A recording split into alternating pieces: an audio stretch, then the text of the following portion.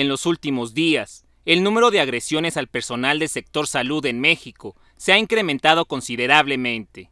Esto por el miedo que tiene la gente de contagiarse con la nueva cepa de coronavirus denominada COVID-19.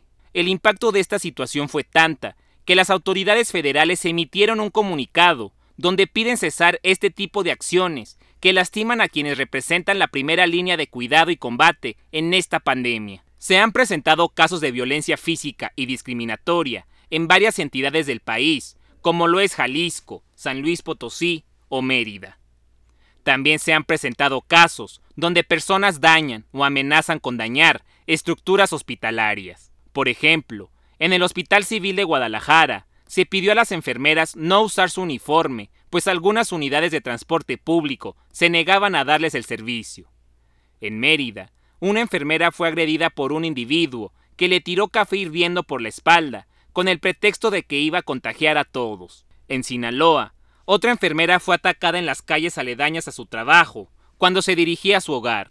Según los relatos, un sujeto la seguía de cerca y roció una botella de cloro en su cara. Una agresión más se registró en San Luis Potosí, donde por miedo, una madre y sus dos hijos atacaron a una enfermera que resultó con dos dedos rotos de su mano derecha. En el caso de Nuevo León, al norte del país, se dio a conocer que un grupo de personas no identificadas lanzaron material inflamable en la puerta de un nuevo hospital, mientras que un grupo de pobladores de Axochiapan en Morelos amenazaron con quemar un osocomio si recibía pacientes positivos por coronavirus.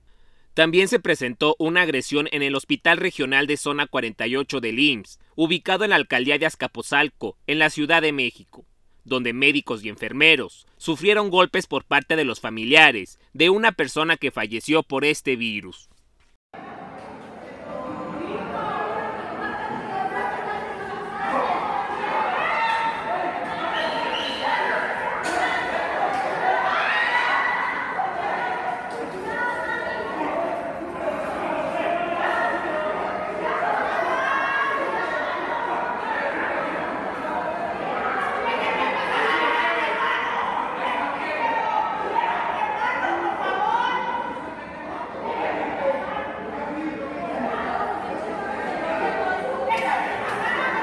Doctor, esto está cañón. No tengo el teléfono del ministerio.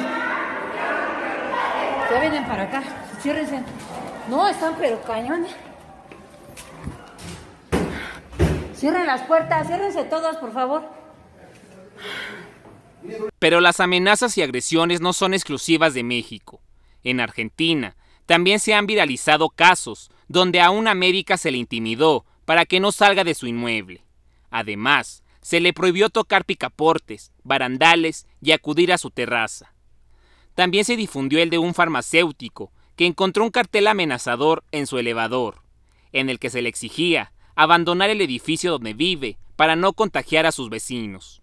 Las autoridades afirman que es necesario que la gente se informe bien sobre lo que conlleva esta enfermedad, y así evitar que las emociones en ese sentido no sean irracionales durante esta contingencia sanitaria con imágenes de Juanma Moreno, José Luis Vázquez, Noticieros Canal 7.